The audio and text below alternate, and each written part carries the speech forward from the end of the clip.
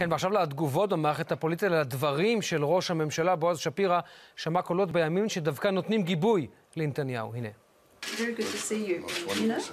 גם באוסטרליה יודעים כעת כי ישראל לעולם לא תוותר על שליטה ביטחונית מלאה בכל יהודה ושומרון. הבוקר, בפגישה האחרונה ביבשת, הציגה שרת החוץ של אוסטרליה, ג'ולי בישופ, את התביעה הפלסטינית למדינה. ראש הממשלה השיב כי למדינה פלסטינית תהיה ריבונות חלקית, כי אין חלופה לנוכחות צה"ל. נתניהו הוסיף כי ישראל אינה יכולה לפתוח בכוח רב-לאומי שיספק לביטחון. ראש הממשלה שלף הצעה. עזה תחילה, ותהה האם אפשר בכלל להציב כוח זר אפקטיבי שיפקח על הנעשה בעזה.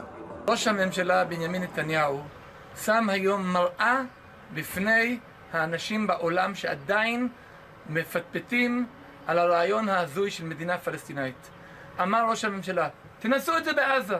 כל בר דעת מבין שבעזה כבר פספסנו את הרכבת. כאשר אני שומע את הדברים שלו להכנסת כוח בינלאומי שיפעל למיגור הטרור בעזה, אני חושב שהדברים הם נכונים. הם נכונים פעם אחת כי אולי סוף סוף העולם יתפכח ויבין שלא אנחנו אלה שאשמים באותו שקר פלסטיני שהעם היהודי, שממשלת ישראל, שמדינת ישראל היא זו שמחפשת ריב ומדון, אלא הם החמאס והטרור הרצחני שכל מהותו והווייתו היא לתקוף את העם היהודי ולחסל את המדינה היהודית. הרושם במשלחת הישראלית שאוסטרליה הגדולה, הרחוקה, הבינה. במערכת הפוליטית אצלנו דווקא מקווים לאיזו פריצת דרך מצידו של נתניהו. שמחתי לשמוע שנתניהו אימץ את המתווה שהצעתי אחרי צוק איתן, שעיקרו אז התחילה. שוחחתי על כך עם נתניהו גם לפני שנה וגם עם שרים נוספים. עם זאת, אני מאוד חושש שכמו במקרים קודמים, גם במקרה זה, זה יישאר בגדר אמירות בלבד, ללא שום מעשה מאחוריהן.